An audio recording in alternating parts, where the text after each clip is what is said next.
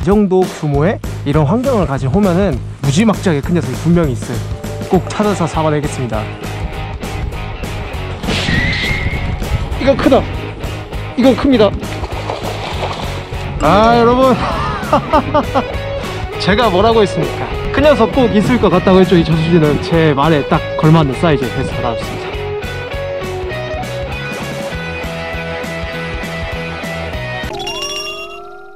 쓰레기를 버리지 맙시다. 안녕하십니까. 대한민국 모든 꾼 여러분 앵글레임칠입니다. 비가 내리는 아주 좋은 날 여름에 비 내린 날은 어, 굉장한 호재죠. 비가 내린 날 제가 찾은 이곳은 정말 오랜만에 찾은 곳입니다. 전북 장수에 있는 장남호입니다.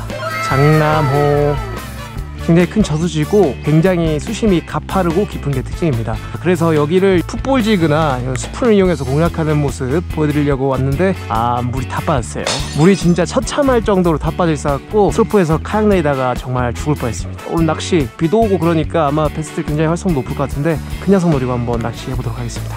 가보죠. let's go 여러분들 지금 여름에 비가 추적추적 내리고 있는 이런 상황인데 첫 번째로 뭐 쓰겠습니까?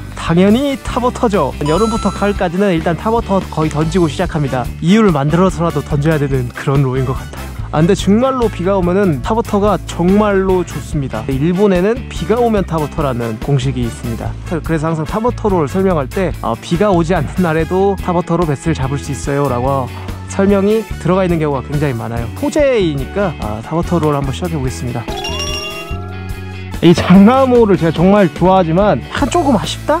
싶은 게 베슬의 평균 사이즈가 좀 작습니다. 근데 분명히 제 생각에 이 정도 규모의 이런 환경을 가진 호면은 무지막지하게 큰 녀석이 분명히 있어요 꼭 찾아서 잡아내겠습니다.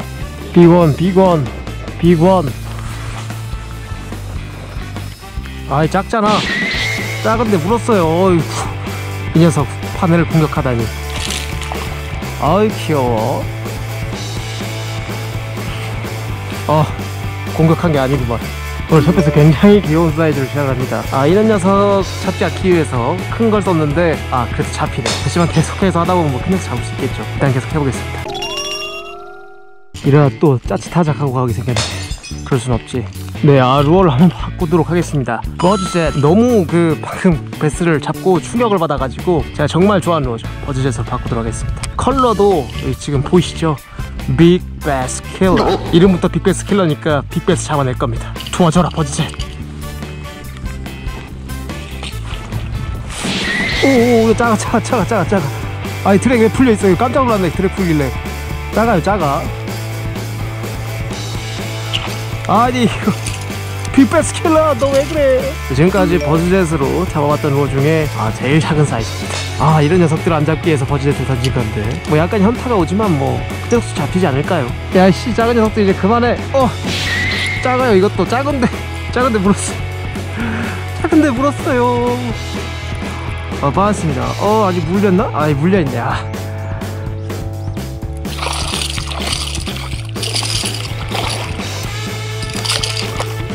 빅베스 킬러라며 이거 사기잖아 이거. 하, 이렇게 작은 녀석에 버즈제를 계속 잡다니. 조금만 더 해보고 안 되면 뭘 바꿔서 한번 해보도록 할게요. 어 이 녀석들 이거 왜 무는 거야 도대체? 그만해 이 녀석 그만해. 큰 녀석들 어디 있는 거야 도대체? 분명히 분명히 여기 이렇게 좋은 조건에 큰 게 없을 리가 없습니다. 저렇게 작은 녀석들만 열광할 리가 없어요. 짜치만 잡고 갈 순 없지. 꼭 최소 45가 넘는 녀석을 꼭 잡고 말겠습니다. 오기가 생기네 이제 아 물지마 물지마 물지마. 물지마 씨어 말도 뭘 써야 큰 녀석을 만날 수 있을까? 채비를 바꾸도록 할게요. swimming jig. 아, swimming jig보다 spinnerbait가 더 좋을 수도 있고 그런데 아, 물이 조금 맑아서 스위밍 지그를 선택을 했습니다. 아, 대신에 아까 짜치가 자꾸 댐비니까 트레일러를 좀 큰 걸로 써가지고 한번 해보도록 하겠습니다. 하 우리 가도 큰 게 있을 조건인데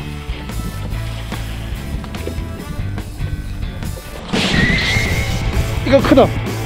이건 큽니다. 오케이. 드디어 드디어 원하던 게 나왔구만. 어 있을 줄 알았어 내가. oh yes baby.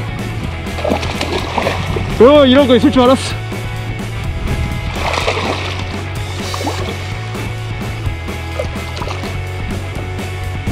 일로와 일로와 일로와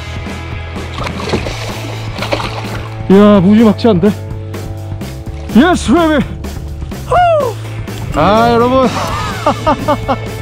제가 뭐라고 했습니까? 큰 녀석 꼭 있을 것 같다고 했죠 이 저수지는. 제 말에 딱 걸맞는 사이즈의 배스가 나왔습니다. 야 이거 딱 봐도 lunker인데 무지막지하게 큰 lunker네요. 아 너무 좋습니다. 아 역시 한방이지. 한번 계측해 볼게요. 주둥이 끝에 대고 모아주면 55.5네요 55.5 이 큰 저수지에 이만한 lunker가 없을 리가 없죠 없을 리가.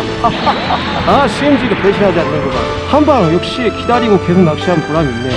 아 너무 좋습니다. 아이 너무 기분 좋구만. 고생 끝에 낙이 온다더니. 아 고생 끝에 낙이 왔어요. 개인적인 경험에 비춰봤을 때 이 큰 녀석들이 이렇게 바람 불고 이렇게 활성도 좋은 날에 아 big swim bait나 spinner bait 뭐 이런 chatter bait 같은 약간 좀 큰 bait fish를 모방한 루어에 반응을 해주는 경우가 굉장히 많았어요. 그동안 제가 잡았던 한 55 정도 되는 배스들을 보면은 다 그랬던 것 같아요. 아 이제 나가면서 공략해 봐야겠습니다. 나가면서 제방 쪽 한번 공략해 볼게요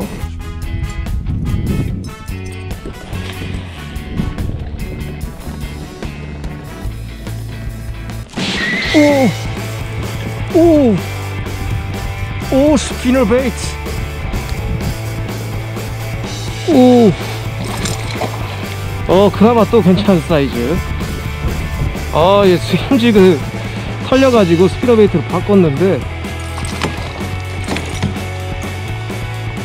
역시 spinner bait 괜찮은 사이즈의 배스를 항상 더 했네요 이, 역시 이런 날엔 bait fish를 따라한 거에 큰 배스들이 따라 나오는 것 같아요 낚시를 마치고 나왔습니다. 오늘 장남호. 사실 뭐 짜치와의 전쟁이었어요. 짜치와의 전쟁이었지만 사실 처음부터 저는 45cm 이상의 big bass를 꼭 이 필드에서 잡아내고 말겠다 라는 생각으로 와서 big bass를 잡기 위해서 계속해서 로테이션을 해가면서 노력을 했는데 45가 아니라 56cm의 아주 큰 lunker 사이즈 배스를 잡을 수 있었습니다. 뭐 다른 루어로 잡을 수도 있겠지만 바람이 불고 날이 어둡고 이런 날은 배스들이 굉장히 공격적이면서 활동성이 있기 때문에 굉장히 큰 사이즈의 먹이를 표현을 해서 낚시를 하면은 어, 큰 배스를 잡을 때가 많더라. 자, 여러분들도 그러니까 그런 상황에서는 좀 빠르게 아주 큰 bait fish를 표현하는 루어를 한번 사용해 보시면 어떨까 추천드리도록 하겠습니다. 아 밖에 나가서 쓰레기 줍고 집에 가야 되는데 아이 길 올라갈 거 생각하니까 굉장히 막막한. 쓰레기 줍고 집에 가겠습니다